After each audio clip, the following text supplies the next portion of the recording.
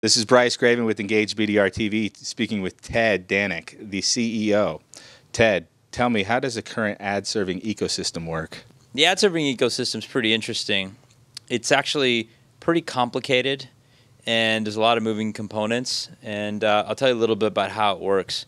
So typically, people are used to seeing ad, ad tags uh, that are placed on various sites.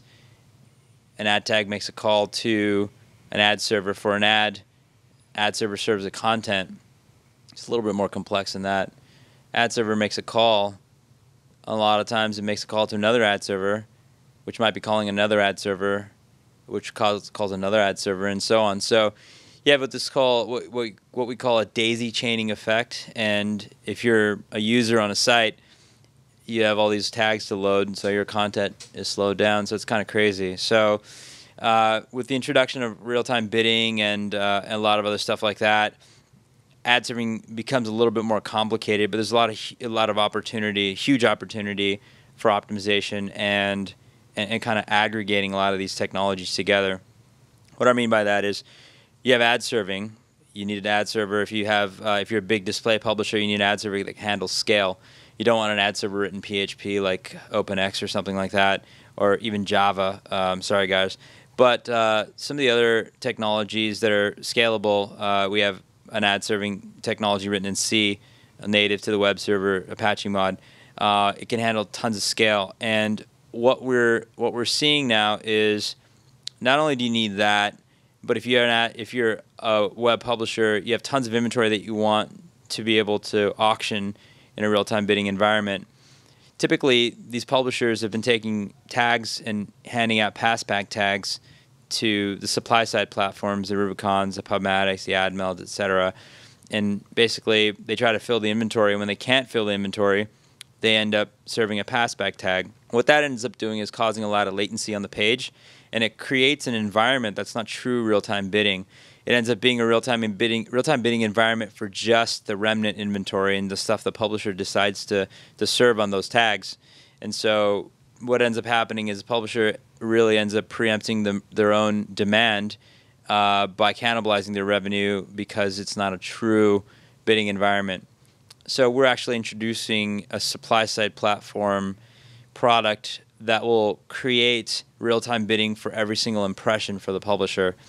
In addition to that, you have demand side platforms that are plugged into these supply side platforms, and there are tons of these DSPs out there, and they're basically buying inventory on RTB uh, and selling it through their either self-serve platforms or, or giving access to APIs and uh, their customers can create their their own interfaces. That's an interesting place as well. There's a lot of opportunity there. You have mobile DSPs, you have display DSPs, you have video DSPs, etc we have actually been in the DSP space for a little bit over a year. Had a couple releases of our of our product. We introduced um, mobile a little while back. Display's been in there for a while, and now we're introducing video and, and email very soon too. So that's kind of exciting place. You have DSPs, you have supply side platforms, which are SSPs. You have ad serving as well. And what we're seeing is we're trying to really aggregate all these technologies into one and just kind of uh, evolve uh, the path and, and, and make it all work together seamlessly.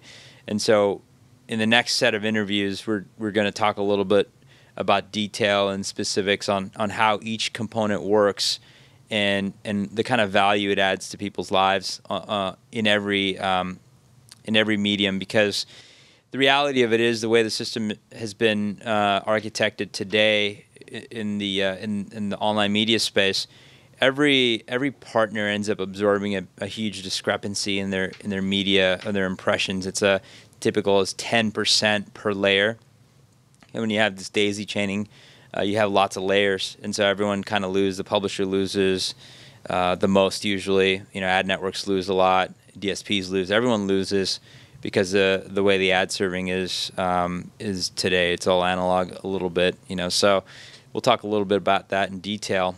But um, you know, it, we are actually going to be migrating and evolving our ad serving product, which is called Blink today. It will be joining the forces of our first impression demand side platform, which is the um, the name for our SSP as well, first impression. So first impression SSP, first impression DSP, and first impression ad serving.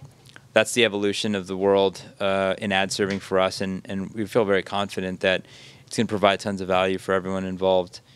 And, and uh, I look forward to talking in detail about that.